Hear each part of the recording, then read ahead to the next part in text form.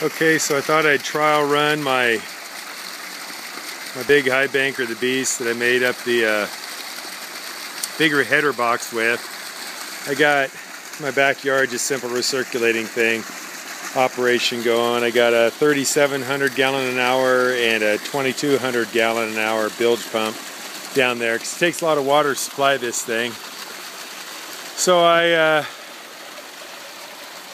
have the 48 inch high banker outfitted with gold gold hog matting. I got a UR up underneath the the punched plate. Comes down into a scrubber, two two razorbacks, two scrubbers, and finishes off with two razorbacks.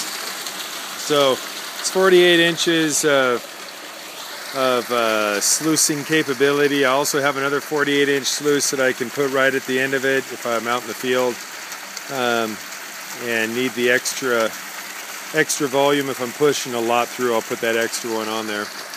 You can see this is just my two little pumps and I'm getting good water flow down in it. Now a little bit, a lot of water to for those little pumps to push up, you know, four feet. But Got a few little leaks coming out. Got a little leak right here on one of my rivets, but that's okay, you know. A little bit of water coming out, so not bad. As you can see, I got really, really good, really good flow coming down through that matting. That matting is just incredible when it comes to uh, catching, catching gold. So I'm going to try to do this one-handed. What I'm going to do is just uh, put a scoop of some dirt in here that I've already ran once before, but just for purposes here, I'm gonna try it again. Just dump it in there. You can just dump it in as fast as you want. You can see how that matting, it just starts cleaning out real quick.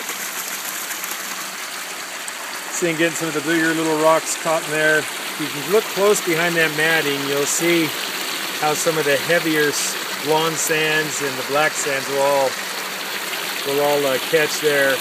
There, if you can see it real close, you see that there's a lot of dancing particles. I don't know if you can see that, but the particles are really dancing, got good action.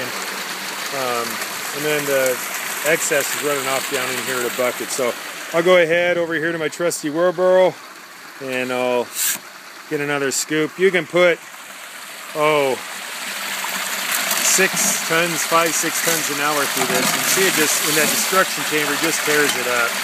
Just tears up jack in there flows down through, another scoop. Don't have to worry about how fast you scoop this stuff in. But as you can see, I'm not taking, breaking it up good, coming down through the sluice real good. Got good flow. So I'll go ahead and, and run the rest of this. Again, this is just a test drive in my backyard with my 48 inch high banker I made myself. I'll see ya.